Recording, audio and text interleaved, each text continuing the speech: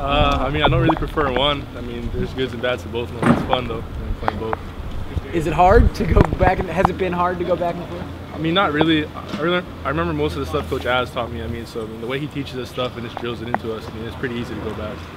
What was it like being out there on the defensive line? I mean, it was fun. I mean, my first time to come here, I mean, that's what I envisioned doing. So, I mean, it was fun to finally get a shot to play defense. How'd you think you played? I, mean, I thought I have, I have, a lot to improve on, but I, you know, I did as best as I could to fill in, you know, for uh, what we needed. You guys were very inexperienced on Saturday. Yeah. Um, did you? Did the group feel comfortable out there? Did, did you feel that inexperience? I mean, not really, honestly. I mean, we we just practiced real hard this week. We had a lot of uh, good preparation, I thought. So we went out there, we prepared, we knew what we knew what to do, so we were ready.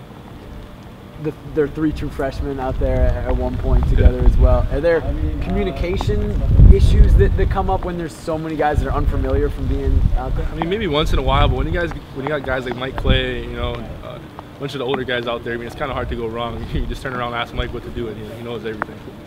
Uh, one drive in particular in the third quarter, Cal kind of ran through you guys. Yeah. Um, but but after that, you know, things changed. What what changed from that drive to the rest of the game? Uh, we just had to, you know, I guess, man up. You know, just we had to win the game. I mean, there was no one else to go in the game. I mean, it was just us out there, so we knew what we had to do, and we just had to come through.